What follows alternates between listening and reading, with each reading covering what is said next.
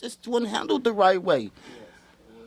Just wasn't handled the right way, dude. It's just you don't, you know, they could have took it serious, dude. A family grieving and frustrated after first responders found two bodies in a car submerged in the icy water of Northridge Lake Thursday. Family identified the pair as seven-year-old Tyrielle Jefferson and her 25-year-old mother, Kalila Brister. One car submerged, and we will start a dive rescue again. The rescue quickly turned into a recovery. Second victim out.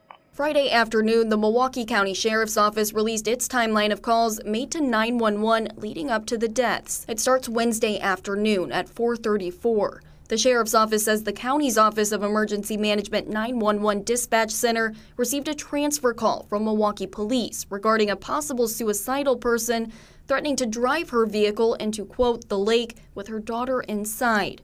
Off camera, Tyrielle's maternal grandmother confirmed with 12 News that's when she called police. Their daughter is threatening to drive into the lake. The sheriff's office says dispatch sent deputies to the Bradford Beach area along Lake Michigan, then canceled the call because it was believed Brister was heading to another jurisdiction. One deputy looked in the Bradford Beach area anyway and did not find anything. But according to the notes, that vehicle's not here anymore. According to Tyrielle's father's side of the family, Brister stopped responding to them around 6:15 Wednesday night. We called the police. Uh, her mother made contact with the police. She said they looking for the car.